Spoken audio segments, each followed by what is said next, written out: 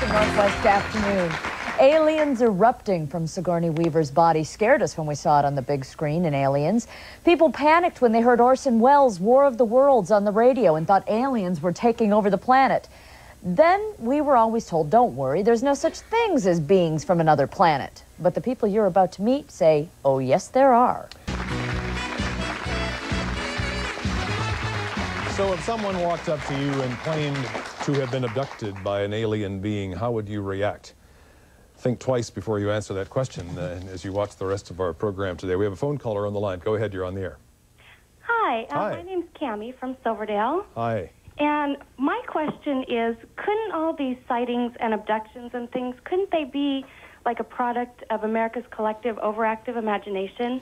That's got to be a very common question, and, and I'll address it to Dr. John Mack, who has joined us on set. You must hear that question a lot, Dr. Mack. Uh, It's kind of the reverse of the usual kind of question because uh, we're a culture that's addicted to not believing in anything except what we can take pictures of or what's reported to police stations or what you can handle physically.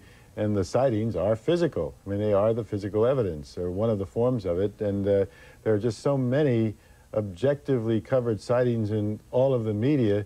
And it seems to me that uh, uh, if we uh, deny our own media, they become our eyes and ears, then what are we to trust as having some reality in the external world? But tell us, tell us how you felt before you began working on this book and before you began working with these uh, experiencers, as you call them. Yeah, I mean, when I first heard about this phenomenon, that, and particularly about Bud Hopkins, the pioneer who investigated them most comprehensively initially in New York, uh, I thought, you know, there must be, this man must be out of his mind, and this must be some new form of mental illness.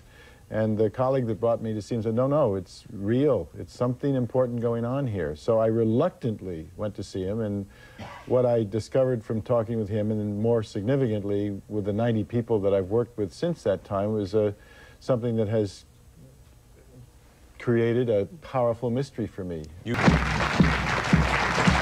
Dave was just telling us how he believes aliens implanted something in his mouth and then maybe took it out. But this was not so unusual. From reading your book, it sounds like there are a lot of surgical implants being performed. Yes, this may be uh, one of the more dramatic examples, but uh, case after case, the uh, person will remember in hypnosis or without hypnosis that some kind of device was placed in their nose or in the vagina or in the penis in the case of one man, uh, and they feel that they've been tagged, much the way we tag animals in a herd when we want to be able to track them. It's the experience is that they are doing this so they can be found again, and sometimes they will abduct the person, remove the implant, as occurred in this example Dave gave, put in another device, but the idea behind this appears to be some way to monitor or keep track of the people that they're working with. Because they don't just have one encounter, it seems like they have them over and over and over then throughout their life. Cindy and our audience uh, had an encounter when you were on I 5 near Mount Vernon and something a little bit weird happened. Tell us about that. Well, I was actually on my way home at night, about 11 o'clock at night. I had been visiting my mother who had a cerebral hemorrhage. She had uh, cancer that was exacerbated.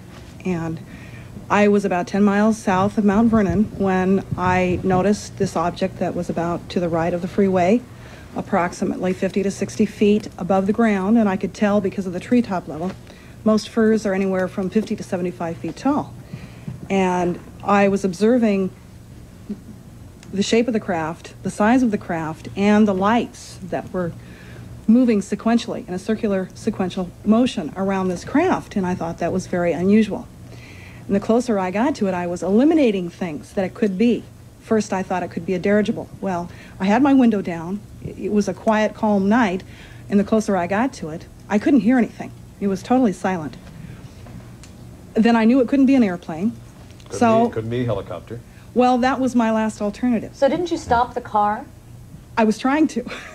What you- the closer I got to it, I realized it wasn't a helicopter either, but the, the size of the craft appeared to be that of a Chinook helicopter, al- although it was a little bit larger. At that point, I realized it was not a craft that we had designed. It was, I, I just knew that it wasn't. That, that humans had designed. Correct. And the lights that were moving around it, and as I came upon it, I realized it was a sphere.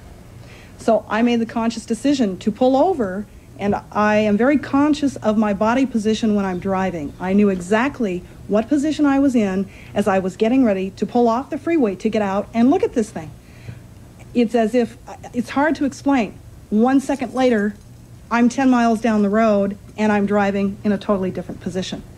And I verbally spoke to myself out loud. That was interesting. Let's take a phone call. Go ahead, caller. Hi, I was wondering, um, why do you think they never reveal themselves to everybody instead of just one person at a time? Dr. Mack? Now, this question comes up often. What is, uh, what is alien motivation and intention? And that's what we know the least about. Uh, the question presumes that in some way we accept the reality of it. And I think as we accept the reality of this phenomenon, whatever that means, in other words, uh, whether it's from some other dimension entering our dimension, but something important is going on here, and we open to it, I believe that they will become less subtle. Right now, they fear us. We attack them when they show up. We, we are frightened of them. We try to, uh, experiences actually of uh, swing their fists at them, try to knock them down.